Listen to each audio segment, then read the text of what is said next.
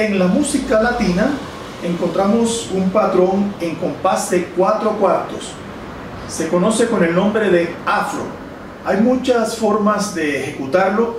Voy a tratar de compartir un fragmento de cómo podría ser un patrón de afro. Un, dos, tres, ah.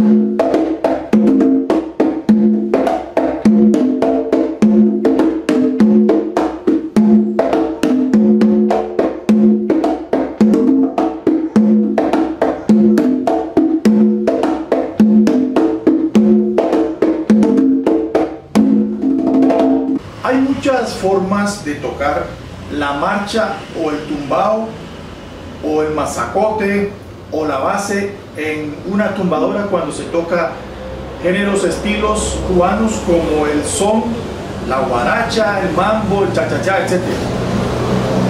También lo que hoy llaman salsa. Entonces, un conguero ¿sí?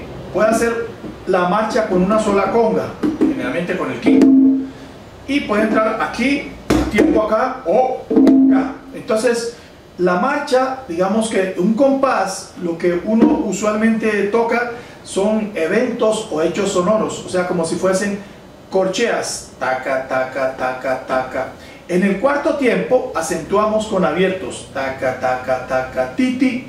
Entonces, un compás en una conga sería algo así. Un, dos, tres y... Esto es un compás taca, taca, taca, tiki.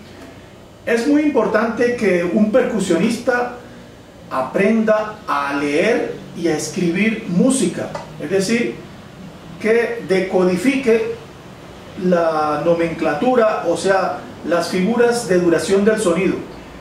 Porque hoy en día un percusionista se encuentra en una agrupación, una orquesta, y se va a encontrar con partichelas, lo que llaman partituras, papeles, y cómo descifrarlos, entonces tiene que conocer cómo va un corte, un apoyo, etc.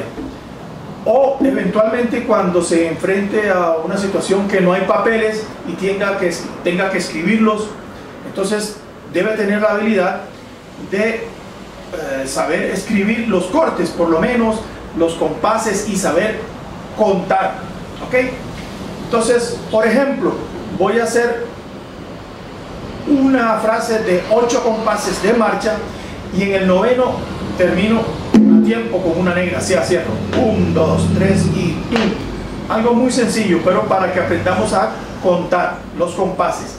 Y dice así, una marcha solamente. Un, dos, tres y...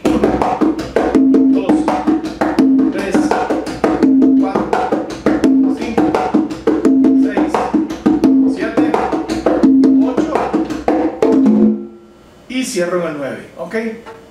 Entonces, esto es algo fácil, pero claro, hay personas que tal vez no tienen esa habilidad de contar. Ahora la voy a hacer mentalmente, ¿ok?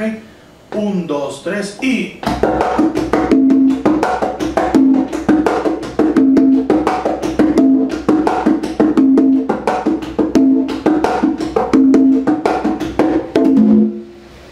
Entonces hay que aprender a contar mentalmente. Yeah.